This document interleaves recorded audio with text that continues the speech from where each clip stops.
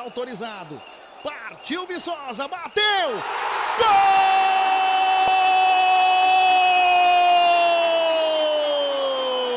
Gol do Atlético! E é dele, Júnior Viçosa, camisa número 9. Com categoria, com a comemoração, tá dizendo, ó, ninguém tá na frente. Já tá virando moda. Que categoria, hein? O Renan vai para um lado, bola do outro. O Atlético Goianiense abre o placar aqui no Estádio Olímpico em Goiânia. Para a festa da torcida rubro-negra. Aqui no estádio em todo o Brasil.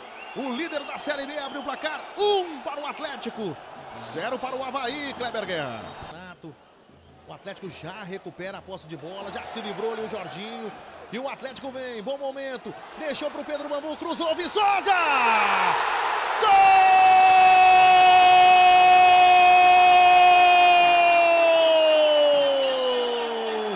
Do Atlético! E é dele de novo. Júnior Viçosa, camisa número 9. Mas a jogada todinha ali apertando a saída de bola. O Jorginho foi na habilidade. O cruzamento de prima, de esquerda, que não é a boa. Sem chance ali para o Renan. O Atlético Goianiense marca o segundo.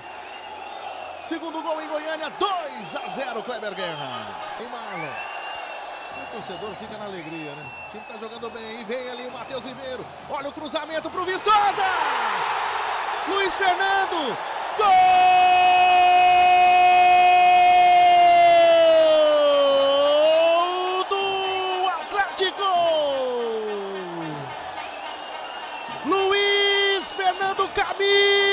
número 7.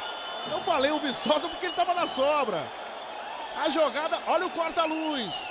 O cruzamento certeiro, o Viçosa chamava na entrada da área. O Luiz Fernando mandou com o pé direito, sem chance, sozinho ali pro gol. O Atlético Goianiense amplia aqui em Goiânia. Luiz Fernando, o garotão. Três para o Atlético Goianiense. Zero para o time do Havaí.